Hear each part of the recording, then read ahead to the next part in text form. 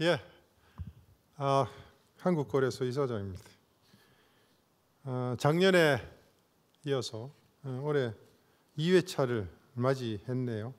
STO 서밋 개최 정말 중심으로 축하드립니다. 어, 특히 이 자리를 마련하고 초대해 주신 우리 저와도 저 각별한 인연이 있으신 이익원 이데일리 대표님 감사합니다. 그리고 세계 각국에서 어, 참석해 주신 STO 사업자 그리고 정책 담당자 또 여러 전문가 여러분 어, 감사드립니다. 어제부터 이번 행사가 열렸습니다. STO의 아, 최근 트렌드와 insight가 담긴 어, 발표가 현재 진행이 되고 있습니다. STO는 이제 조각 어, 투자의 개념에서 벗어나 자금을 직접 조달하는 영역으로까지 확장하고 있습니다.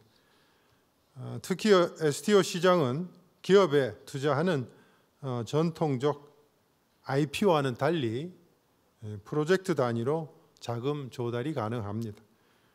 투자자의 니즈와 아, 일치한다면 자금을 조달할 수 있다는 것은 소규모 사업자에게는 매우 큰 장점입니다. 이러한 ITO 시장만의 자금 조달 방식은 혁신 기업들의 등장과 성장에도 큰 도움이 되고 있습니다. 현재 에스토 시장 규모는 사실 크지 않습니다. 그러나 앞으로 많은 성장이 예상되는 어, 분야입니다. 특히 부동산과 같이 실제 가치가 있고 사회적으로 합의된 방식으로 평가가 가능한 어, 실물 자산의 어, 시장 성장을 주도할 것으로 예상이 됩니다. 시장이 커지는 만큼 이를 뒷받침하는 제도적 기반도 매우 중요합니다. 작년 2월에 정부는 토큰 시장이 토큰 증권이 안정적인 제도를 기반으로 발행 유통 어, 될수 있도록 규율 체계를 마련한 바가 있습니다. 이를 구체화한 자본시장법과 전자증권법 개정안이 지난 아, 국회에 제출된 바 있습니다만은 안타깝게도 어, 폐기되었습니다. 앞으로 어, 에스토 시장 제도가 아, 확립된다면 어, 우리 자본시장에 큰 활력이 될 뿐만 아니고 또 조속한 입법화에도 많은 어, 계기가 될 걸로 생각합니다.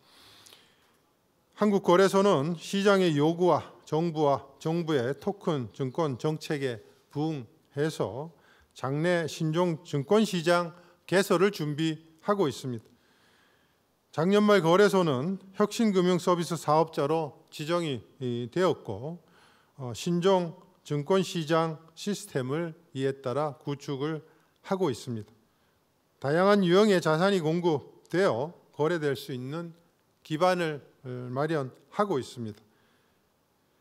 한편으로는 발행인과 발행 상품에 대한 상장 요건을 통해서 시장의 건전성과 신뢰성도 확보할 계획입니다. STO는 혁신 기술을 활용해서 전통적인 금융시장의 새로운 가능성을 제시하고 있습니다.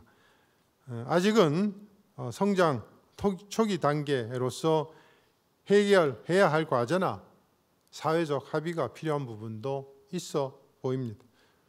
보다 발전적인 방향으로 제도화가 이루어지고 우리 자본시장도 한 단계 동반 성장할 수 있는 계기가 마련될 수 있도록 국내외 전문가 분들의 고견을 부탁드리겠습니다.